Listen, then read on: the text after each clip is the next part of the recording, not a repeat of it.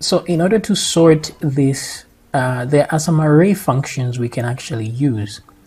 Now, if this was just a simple array, it wouldn't be a problem. But the problem is this is a multi-dimensional array, meaning that there are items in the array, but inside this array, there are objects in there. There's like object 1 and object 2. And inside each of those objects is the value that we want to compare or to sort with. So that makes things a little bit complex, but not a big deal. So there's a function called usort. You can check this one on php.net.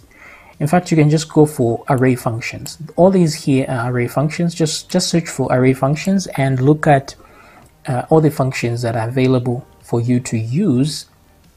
This is array functions here on php.net. So this one is usort. So it sorts the array that we select. And the dollar sign here means the array is passed by reference, which means the actual array is edited by this function. So we don't expect to get a result. Uh, we just say usort and then we put the array there and the array itself will be edited and sorted. But we need to supply a callback function here. Now the function is what will enable us to, to decide how to sort things. So the callback function here expects two params, the first item and the second item. So the only thing you have to do is return 0, minus 1 or 1 depending on whether the first item which is A is greater, equal to or less than B. So it explains here the comparison function must return an integer less than less than equal to or greater than 0 if the first argument is considered to be respectively less than equal to or greater than the second. So let's try and see how we can use that. So the thing we want to deal with is links. So I'm just going to say you sort like that and then I will put that particular array called links.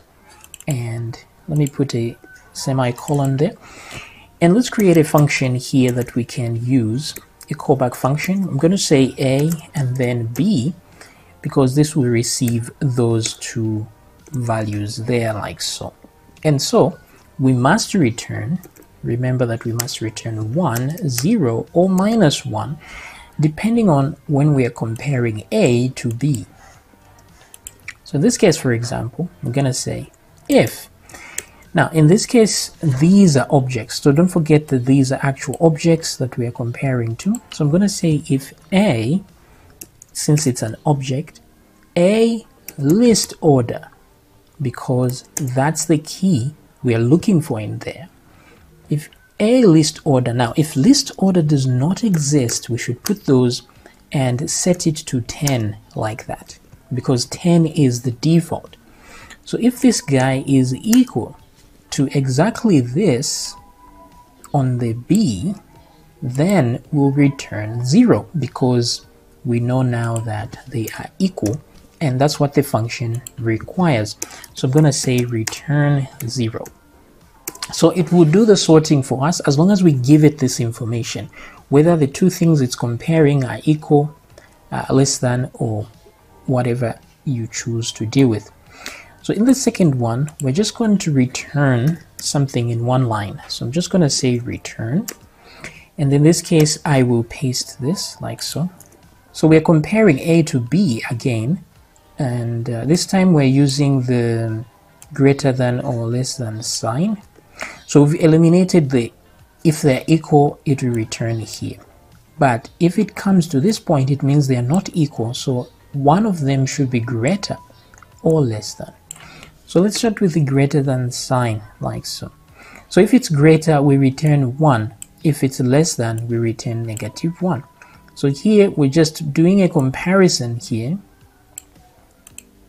Yeah, instead of having to do this all the time, what we can do is let's set this let's set these guys uh, right at the top here. So I'm gonna do this. I'm gonna say a list order is equal to so I'll do this. A list order is equal to that. To make sure that if it's empty, we just set it to 10. So let's put B for this one, like so. So A, this way we make sure that both A and B actually exist before we make comparisons. Then we can remove this over there, like so. That way it reads better. Okay, now we don't actually need to manipulate these. We can just say, uh, we can actually remove this altogether. Let me do this. A is equal to, and let's replace it because that's the only information we actually need. We grab it there, and then that way we can just use A and B all together like this. Okay. So this can be a one-liner like so. And in the same way, this can be a one-liner as well, like this. So if A, for example, is greater than B, what we return is 1. Otherwise, we return minus 1, like so. Okay. So hopefully this function actually works to sort our thing. Now we can confirm this by just we can check, I guess, to see what's going on. So we wanted uh, our high admin to be at the end. So let's see if that actually happens. And as you can see, it went to the end. So that sorts the problem out.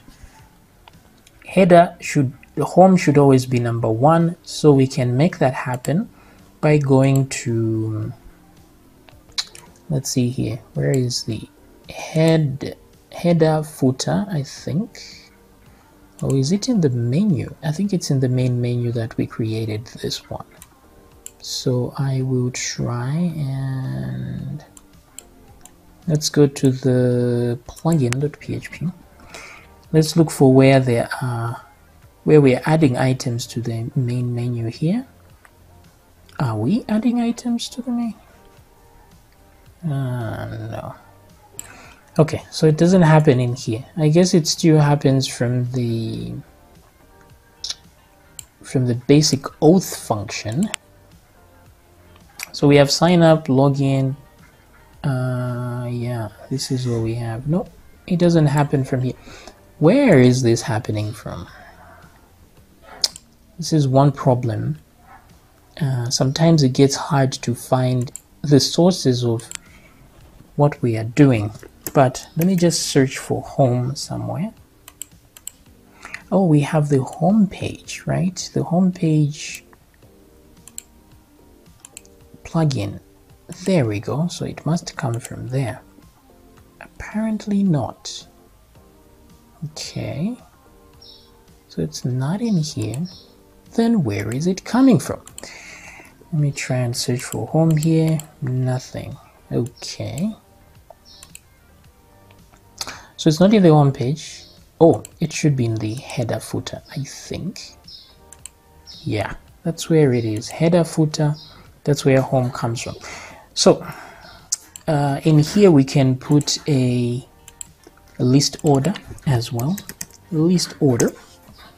And let's put a number of one here just to make sure it's always the first one because we shouldn't go below that. So I'm going to refresh and let's just make sure it's always at the top then you can swap these now from the actual let's try and swap these mega I'll put 9 on this one. That way it comes first than my drop down so in order for that to happen we need to be able to edit those params when we click the edit button. So I want let's see my mega here. Oh yeah. Let me move my mega here. This one I should probably have put 20 just to be sure uh, in the main menu where is the plugin for main menu here? It's not not for main menu but for basic basic auth so basic auth plugin. Where is the high admin part? So instead of 11 let me just put 20 so that I can put other things in between 10 and 20 but they will still be less than 20 Okay, so we you can set it so that number 20 is like the highest, but these numbers don't really matter. As long as they are integers, it will still work just fine. So what am I trying to do here? I'm trying to edit uh, wait wait wait wait wait I'm trying to make it so that we can actually edit this my mega is here. Where is that? My mega. Right there. I want to edit this so that I can order edit the order number here. So there's a link here. There's select parent. So I can put an extra input here for list order. So back to the plugin which is main menu and this is probably the final thing we should be adding. Inside views there's the edit view. And let's go down to one of these guys that have a 12 here. So there's title uh, this one right here parent. Okay. So I'm going to change that to 6 so that it shares half the space and try to grab something that is an input uh, which is like wait a minute. Like slug for example. I will copy this guy. And I will put it right under parent here. So parent starts from here and ends there. So I will put this here. Okay, so this one will be called list order. Hmm. I wanted a label for this. Okay, so there is a label I can put like that. Oops. List order. Let's remove the autofocus from here name will be list order so I'm gonna do that list order I don't expect any errors from this particular thing so I can remove this error thingy here. But you can leave it just in case you you want to show errors if any for this box. And what else am I gonna do? Type is number. Uh, the default value should be 10 but since this is on the edit we'll let that be the default value whatever is already in there. Placeholder list order.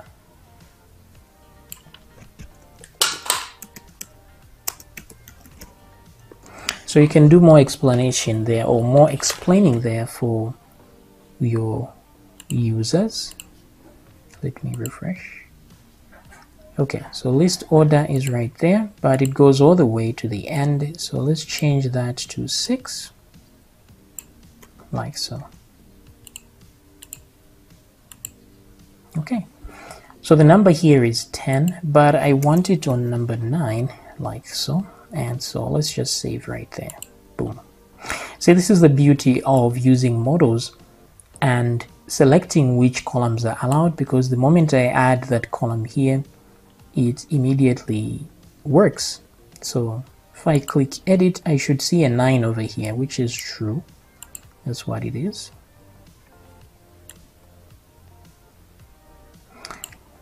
Let's go to view here.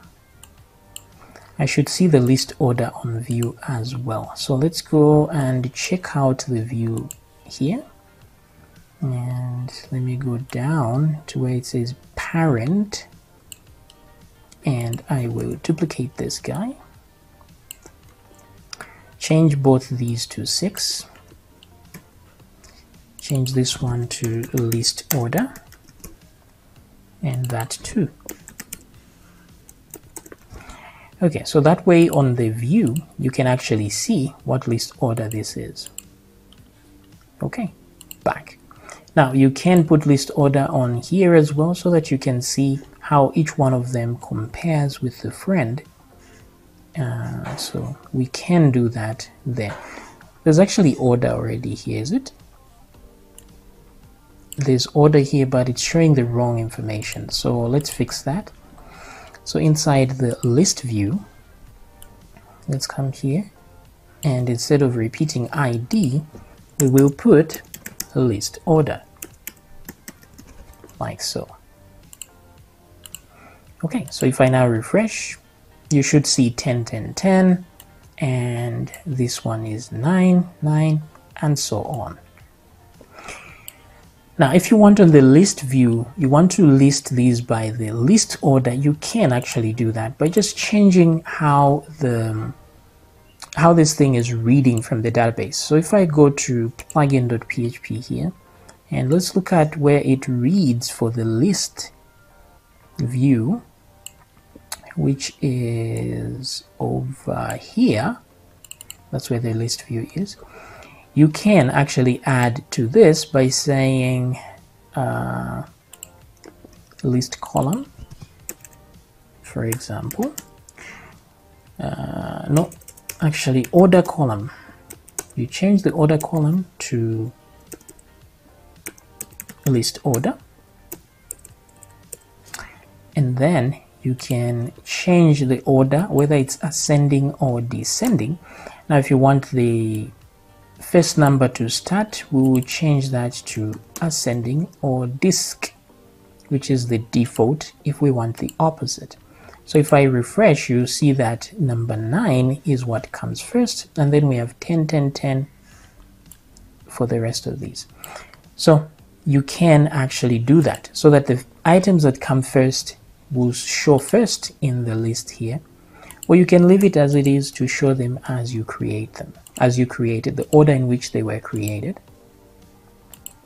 Okay, so now if I refresh, my mega comes first, then this one. That's how you can swap these things around and show the appropriate thing, plus images and all that. This actually concludes our creation of this thing here, the main menu plugin. Now you may be asking about the logo here.